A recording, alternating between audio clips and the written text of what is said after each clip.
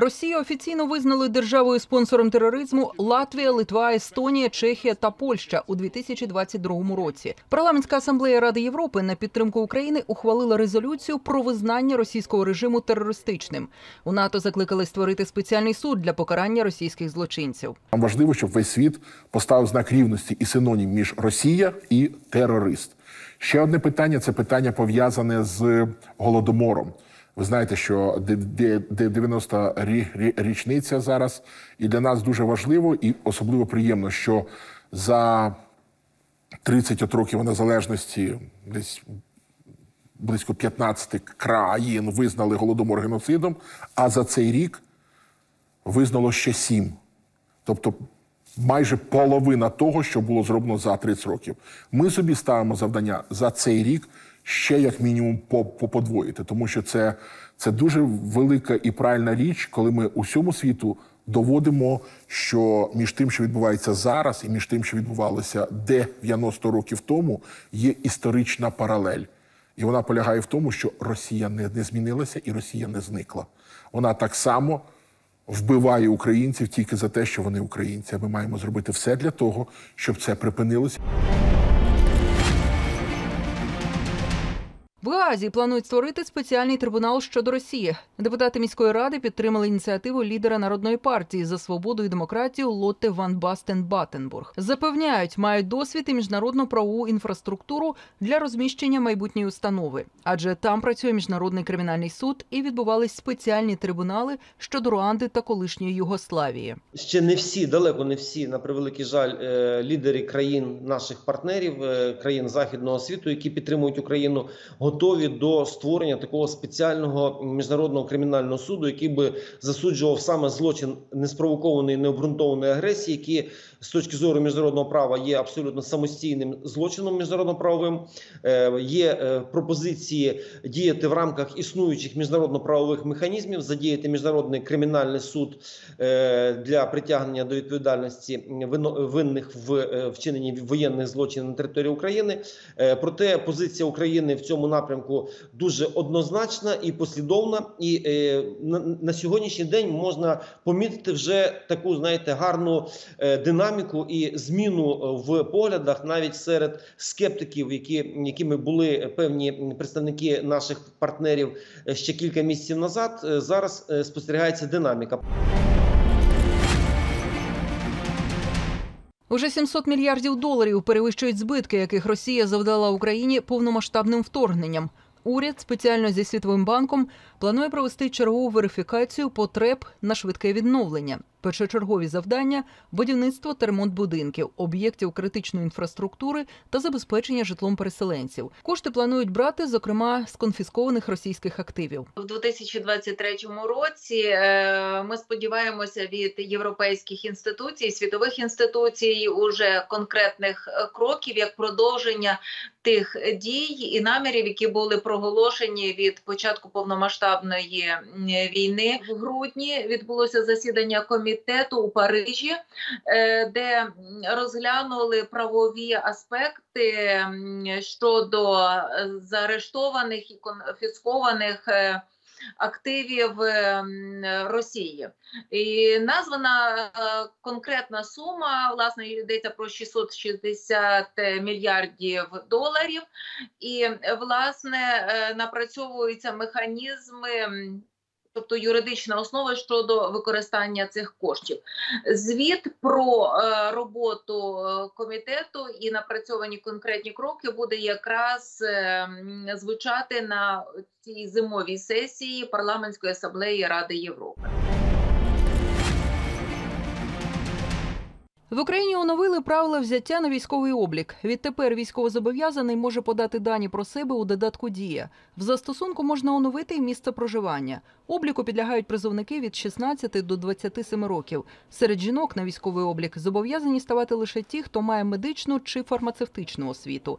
Інші за бажанням. Закордонні дипломатичні установи мають сприяти поверненню призовників в Україну під час мобілізації. Воно не позначиться на дії громадян призовного віку, виключно е, лише може покращитися в тому випадку для держави в першу чергу в зв'язку з фактично видимістю е, людей, які е, де і як стають на військовий облік, для того, щоб не розказувати про те, що документи загубилися, вони не дійшли, вони не прийшли. Ми вас не побачили в реєстрі одному, другому, третьому.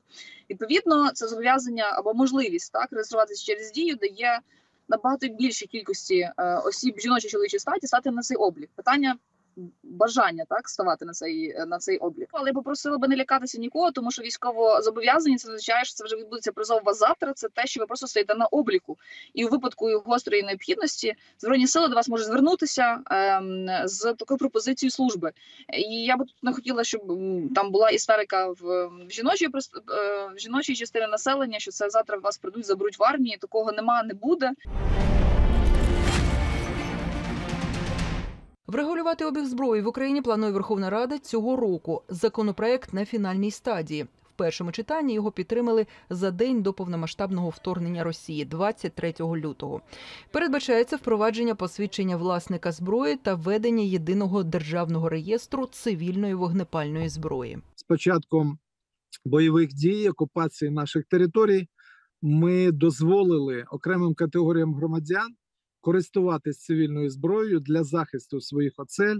Міністр і його е, посадовці говорять про те, що вони не заперечують проти права громадян придбавати вогнепальну зброю короткоствольну, але не завершена ще дискусія стосовно того, чи мають право, будуть мати право громадяни її носити. Е, Зберігання зброї залишається неврегульованим до кінця питанням. Її облік, хто саме буде це робити, чи Міністерство внутрішніх справ, чи органи юстиції. Але ми вже на завершальному етапі. Сьогодні проходять е, остаточні такі узгодження, багато поправок. Ми цей законопроект будемо готувати до розгляду в сесійній залі. Умови надання відпусток планують змінити. Законопроект зареєстрували у Верховній Раді. Згідно з ним, щорічну відпустку можуть поділити на частини будь-якої тривалості, не тільки на прохання працівника, але й за такою необхідністю у роботодавця. За умови, що основна безперервна її частина становитиме не менше 14 календарних днів. Загальний максимальний термін надання відпустки без збереження зарплати за сімейними обставинами збільшується з 15 до 30 днів на рік. Насамперед, ми плануємо, підтримуючи роботодавців, все-таки дати їм право відтерміновувати відпустки, якщо працівник звернувся за нею, а він є е, відповідальним щодо критичної інфраструктури. Тобто це стосується тих підприємств організацій, які сьогодні забезпечують життєдіяльність нашої держави. То роботодавець має право не надавати таку відпустку і її відтермінувати але підкреслюється тільки на період воєнного стану. Також ми цим законопроектом порядковуємо е, право надавати відпустки е, усиновувачам незалежно від віку дитини. Це теж пропозиція, яка прозвучала е, від Міністерства соціальної політики. Також ми, як на мене, найважливіше хочемо надати право демобілізованим військовослужбовцям отримувати відпустку протягом 60 днів.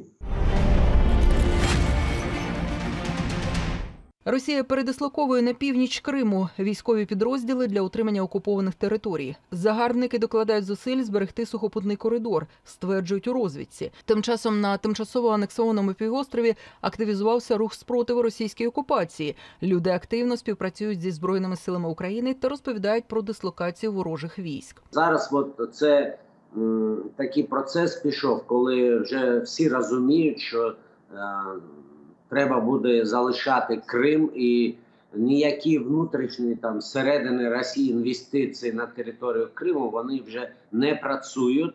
І взагалі поняття майбутнього в Криму, от з, з тої реклами, яку вони намагалися е, показувати всім, що це такий привабливий регіон, і там сонце, море і пісок. е, Це вже не працює. От ми чекаємо зараз. Всі там, хто живе, наші громадяни, вони чітко відчувають, що е, ну який там сезон, да, який там відпочинок в Крим в Криму. А для нас буде військовий сезон. Це, це правда, і вони на це чекають. Після закінчення війни в Україні вибори проведуть не одразу, стверджують у Верховній Раді. Для цього потрібен перехідний період. Він триватиме від кількох місяців до півроку. Цей час необхідно буде впорядкувати списки виборців та внести зміни до законодавства. Ці питання можна легко швидко вирішити, тому що, ну, наприклад, питання дільниць. У нас багато дільниць історично були в школах. На жаль, агресор зруйнував вже близько 1600 ш- шкіл. Да? Ми не можемо там проводити вибори. Нам треба шукати інші е, локації для цього. Для цього треба змінити законодавство, дозволити, наприклад, тимчасові там локації, так як у нас зараз є пункти незламності, вони можуть в літній час бути абсолютно виборчими дільницями. Але для цього треба певні кроки зробити в законодавстві. Щодо питання законодавчого регулювання цього питання взагалі, то це теж важке комплексне питання, тому що у нас є конституція, вона вказує нам е, повноважність е, парламенту, який під час воєнного стану є до кінця воєнного стану. Відповідно, поки не закінчиться воєнний стан, говорити про вибори і про наступний парламент важко. Да. Є закон про воєнний стан, який прямо забороняє проводити вибори, але закон про воєнний стан, на відміну від конституції, може бути змінений під час воєнного стану. Жодних канікул у народних депутатів до закінчення воєнного стану не буде. Парламентарі не мають права на оплачувані відпустки під час війни. Верховна Рада продовжує працювати.